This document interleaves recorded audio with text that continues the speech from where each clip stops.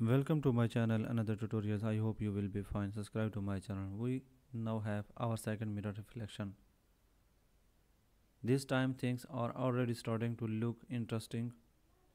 Both layers onto a new layer. So far all we've been doing is making copies of the image and flipping them. Let's see how much further we can take things by rotating copies of the image and trying out different layer blend modes First let's both of our exciting layers into a brand new layer. To do that, press and hold the Alt window option make on key on your keyboard. While still holding the key down, go up to the layer menu at the top of the screen and choose visible near the bitwim of the list. Thanks so much for watching. I will become in next video. Goodbye.